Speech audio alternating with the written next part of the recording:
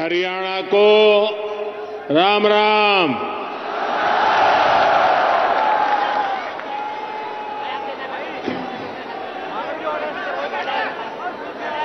मैं जब भी रेवाड़ी आता हूँ तो कितनी ही पुरानी यादें ताज़ा हो जाती है। रेवाड़ी से मेरा रिश्ता कुछ अलग ही रहा है। मैं जानता हूँ रेवाड़ी के लोग मोदी को बहुत ज़्यादा प्यार करते हैं।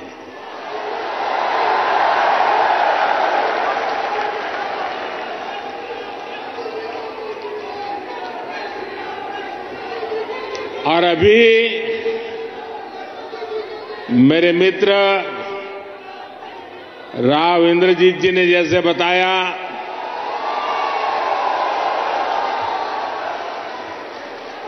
मुख्यमंत्री मनोहर लाल जी ने जैसे बताया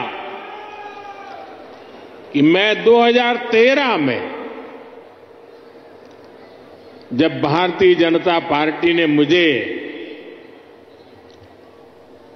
पीएम के उम्मीदवार के रूप में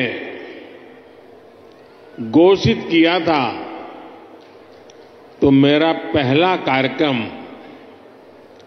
रेवाड़ी में हुआ था।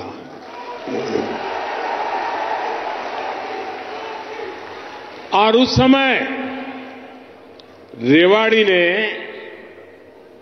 272 पार का आशीर्वाद दिया था।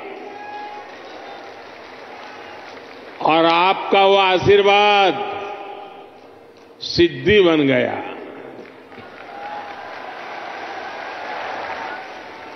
अब लोग कह रहे हैं कि मैं फिर एक बार रेवाड़ी आया हूँ तो आपका आशीर्वाद है, अब की बार,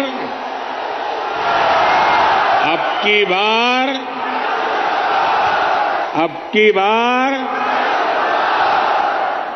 एनडीए सरकार 400 पार।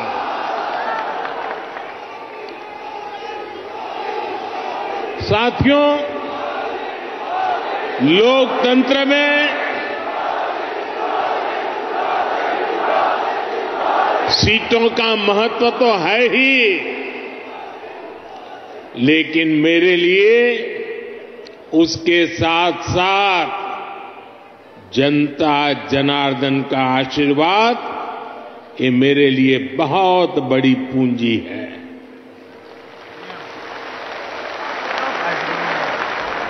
आज पूरी दुनिया में भारत नई ऊंचाई पर पहुँचा है तो ये आप सबके आशीर्वाद के कारण ये आपके आशीर्वाद का कमाल है।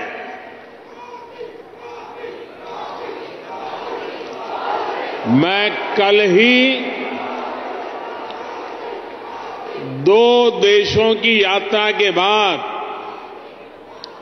देर रात हिंदुस्तान लौटा हूँ। यूएई और कतर में जिस प्रकार का आज भारत को सम्मान मिलता है,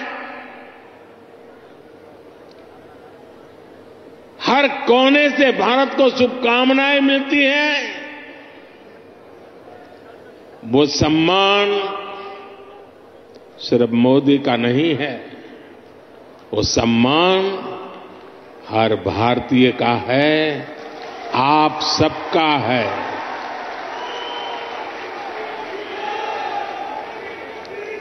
भारत ने जी ट्वेंटी का सफल सम्मेलन किया तो ये आपके आशीर्वाद से हुआ।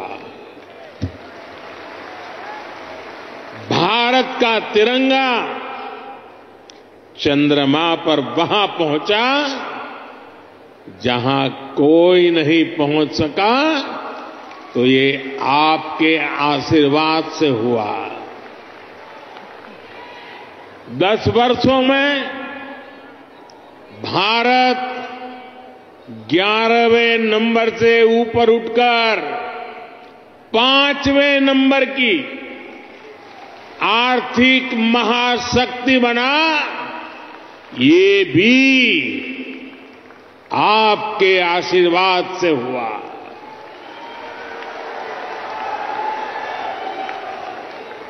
और अब मुझे अपने तीसरे टर्म में, अब मुझे आने वाले सालों में भारत को दुनिया की तीसरी सबसे बड़ी आर्थिक ताकत बनाने के लिए आपके आशीर्वाद चाहिए।